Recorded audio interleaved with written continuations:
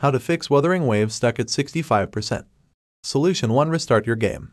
The first and simplest solution is to restart your game. Sometimes, all it takes is a quick reboot to fix minor glitches. Close the game completely and restart it. If it works, great. If not, don't worry, we have more solutions.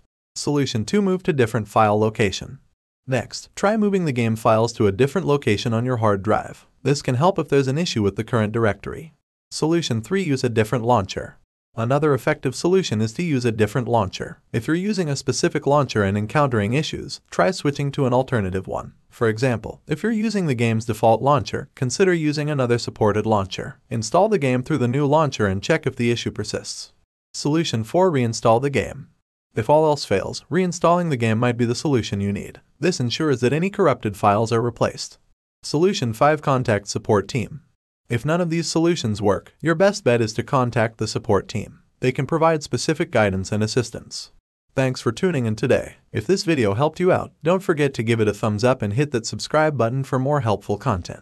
If you're still facing issues or have any questions, drop them in the comments below. Remember, gaming should be fun, not frustrating. Until next time, happy gaming.